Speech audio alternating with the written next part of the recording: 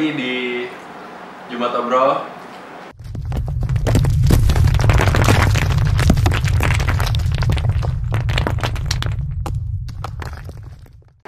Kali ini gue ditinggalin sendiri Tapi ada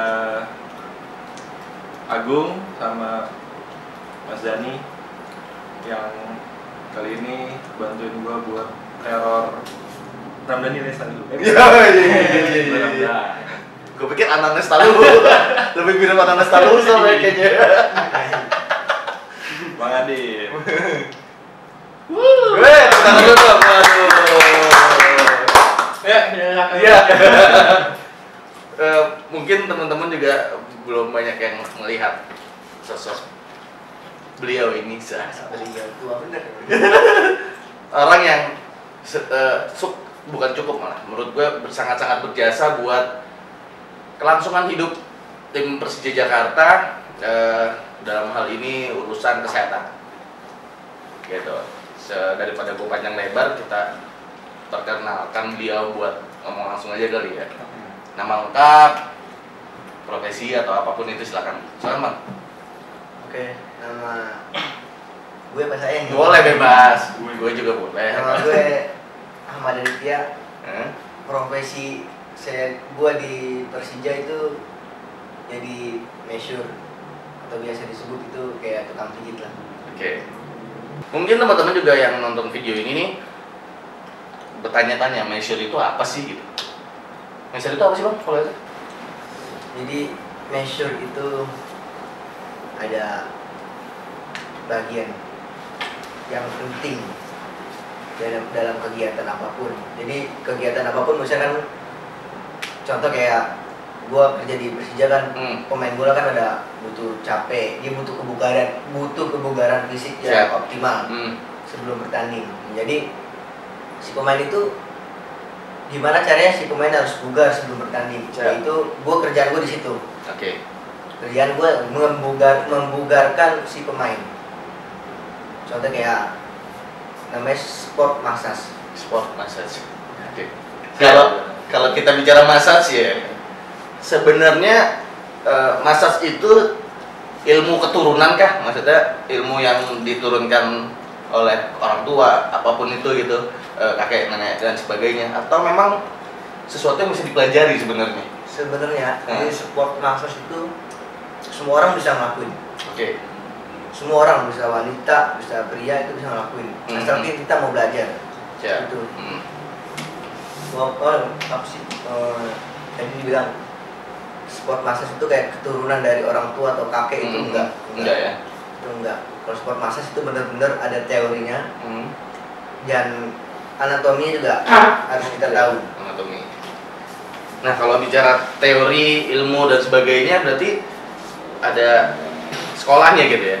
Ya. Nah, itu sekolahnya berapa lama dan apa aja nih pelajarin kalau bicara tentang sport massage? Jadi sebelum ke sport massage itu itu ada tahapan-tahapannya. Hmm. Yang pertama itu ada tahapan anatomi. Kita harus mengenalin anatomi tubuh manusia. Ya. Yang kedua setelah lulus dari anatomi tubuh manusia itu ada ilmu faal. Ilmu faal. Ilmu faal. Apa itu bagian lebih rinci lagi dari, dari otot, Oh, oke. Dari ak semuanya lah. Hmm, hmm, hmm. Jadi lebih rinci. Habis itu kalau udah dua-duanya lulus baru ke menjerumus ke sport massage. Jadi ada dasarnya khusus. Sebelum kalau misalnya anatomi anatomi tubuh manusia belum lulus, itu nggak baka- nggak bakal bisa ke tahap selanjutnya ke kayak ilmu faal, ke sport massage itu nggak bakal bisa. Hmm. Itu dasarnya. Nah, belajarnya berapa lama sih gitu? Kalau misalnya satu empat tahun minimal. Sorry, bukan minimal, apa harus empat tahun gitu. Eh, Nah, kalau sport massage itu berapa lama? Satu semester, Satu semester ya, setengah tahun ya. setengah tahun. Hmm. Sekarang apa bedanya dengan fisioterapis? Terus bagaimana berkolaborasi dengan fisioterapis? Bagaimana berkolaborasi dengan do- tim dokter? Jadi ada kayak kelanjutannya itu. Ya. Sebenarnya fisioterapi juga bisa. Hmm. Massage, sport massage itu bisa. Oh, oke. Fisioterapi. Hmm. Jadi tahapan sport massage, habis sport massage ke fisioterapi ke menjurus ke fisioterapi. Oke, itu belajar lagi lah ya. Nah itu belajar lagi. Oke. Itu kaitannya Hmm. itu makanya ada ada tahap ada apa sih ada misalkan kayak dokter tim Hmm.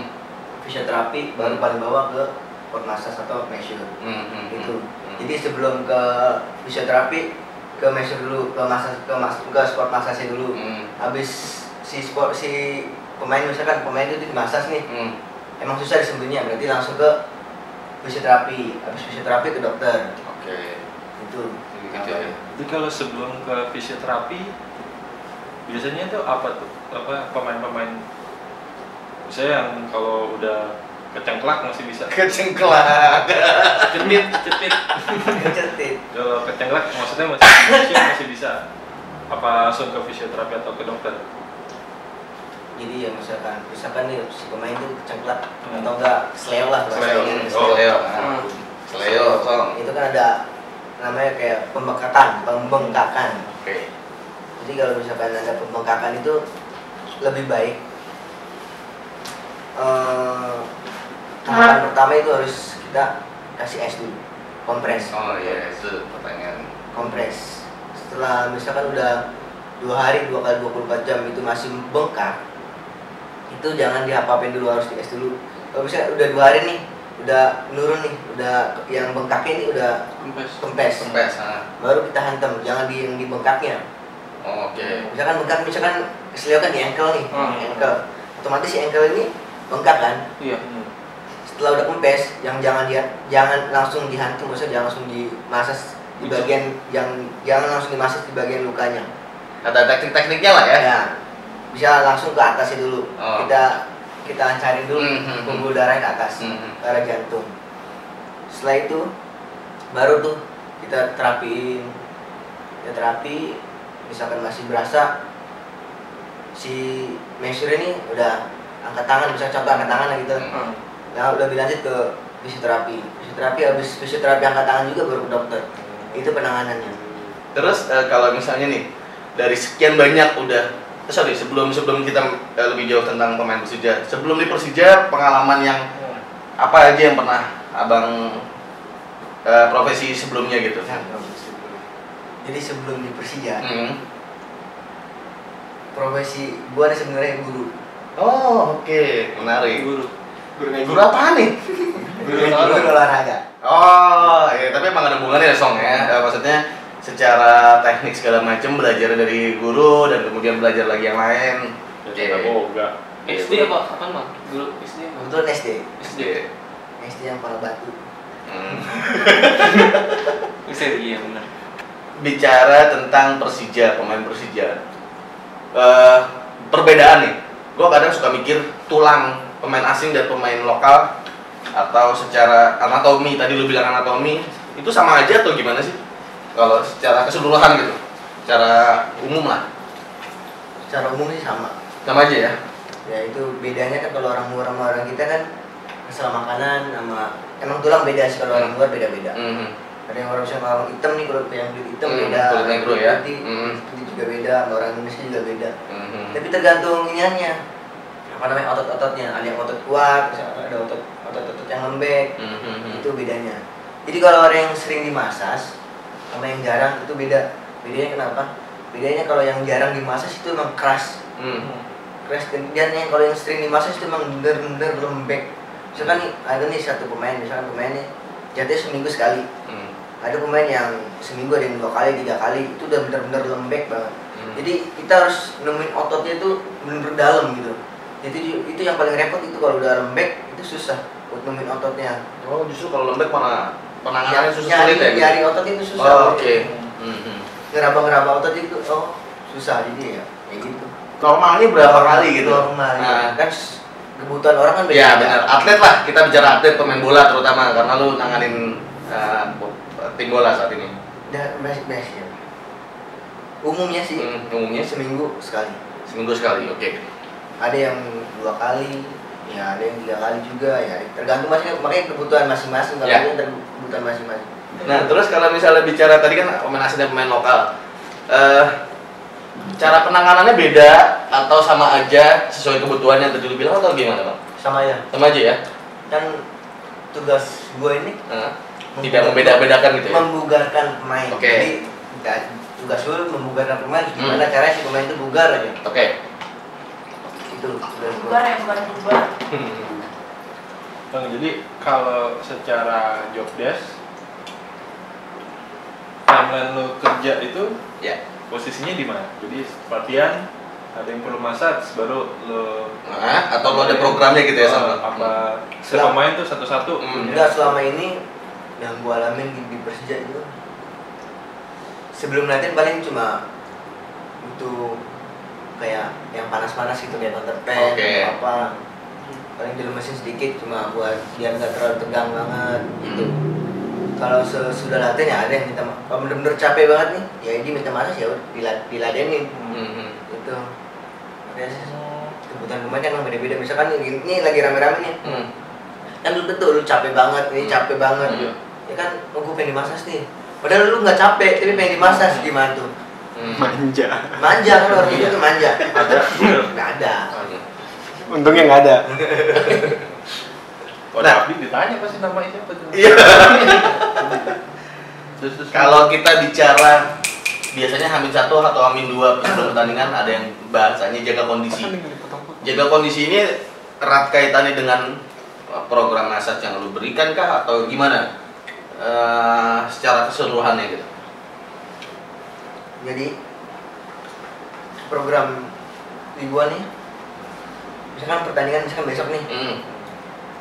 idealnya itu pemain harus dimasis tuh hamin dua Oke, hamin dua ya. hamin dua sebelum pertandingan besok nih main nih Main minggu misalnya Ya, di- main Senin, Senin. mati diantem atau enggak Oke. diantem paling hamin satu paling sedikit lah Mhm. kalau misalkan hamin satu diantem juga tekanannya juga nggak terlalu keras Hmm. jadi sebelum itu jadi adakah measure-measure yang sifatnya tradisional dan Klinik. ah, klinik kalau ada ceritain dong mungkin dia kalau yang gue tahu dulu waktu waktu zaman Persiba Balikpapan tuh Hmm. kan ada tuh measure sama measure plus fisioterapi yang orang tua yang udah Hmm. mereka kakek kakek Hmm. pakai topi Iya, tahu tahu. Pernah lihat. gue nggak tahu itu basicnya dari mana mungkin kalau menurut gue Hmm. itu basicnya basic turunan bukan bukan dari Ilmuwan. ilmu lah keilmuan lah Hmm. setahu gue itu itu sih yang gue yang tim-tim yang lain mah gue tahu semua Tapi akhirnya kalau menurut gue eh, ditarik garisnya juga mungkin ditambah dengan sugesti juga kali bang ya. Ya, itu. Eh, dengan melengkapi sugesti yang apa yang si orang itu percayai lah seperti Iya, itu lah iya, ya kurang lebihnya. tergantung kebutuhan tim atau tergantung kebutuhan pemain Iya iya iya. pikiran Nah. gue tuh measure misalnya pemain capek maksudnya ladenin Hmm. Jadi gue mikirnya gitu, kalau satu tim banyak banget yang ladenin semua pemain gitu 30 pemain Oh, biasanya setiap musim kan. Nah, Mungkin nggak bang? Kalau misalkan habis latihan tiba-tiba minta measure semua gimana? Enggak.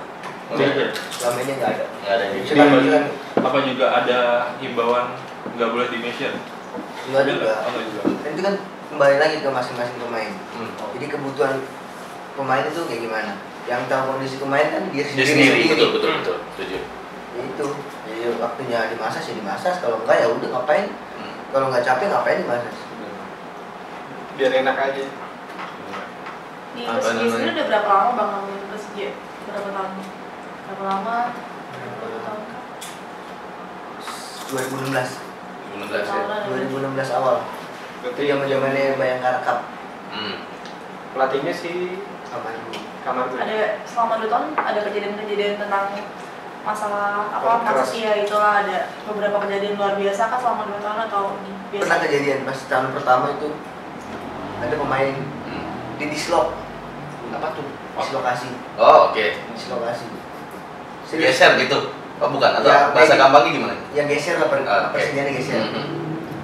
gue pertama kali gue panik kan itu ya panik panik ini kenapa ini ini geser nih belum balik nih jadi, kan kayak gini harusnya Gue ngebayangin tulang geser belum balik gimana gitu ya kan? Kan- harusnya kan begini kan Iya, oke. Tapi bisa begini Oh, oke. Sip, sip. Bisa Ngerti, ngerti. Yang rasain kan dia nih belum balik nih belum balik Hmm. gue bingung nih apa yang harus gue lakuin apa yang harus gue lakuin Hmm. Telepon satu-satu dua. enggak gue gue itu akhirnya apa ya si si pemain ini telepon si teman saya teman gue yang satunya lagi Oke. temen gue satunya lagi akhirnya dibenerin sama dia oh bener oh begini caranya oh jadi dari situ gue ambil pengalaman oh begini caranya Diapain tuh jadinya?